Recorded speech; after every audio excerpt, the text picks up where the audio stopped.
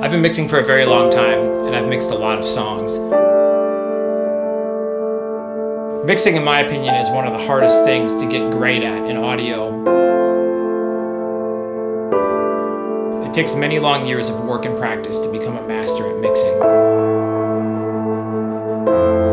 I've had the privilege of working with a lot of really exciting and cool bands in my career. For example, bands like Trapt, Machine Head, Blessthefall, Theater, and so many more. Joey Sturgis, Eyal Levi, and I have put together something called Nail the Mix, which allows you to be a fly on the wall and sit in on a mixing session behind our shoulder.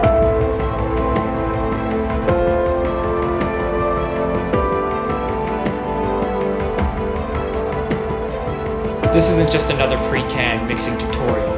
This is a fully interactive immersion into the world of mixing where you can have your questions answered and get feedback in real time and really experience what it's like to sit down right next to us and mix a song.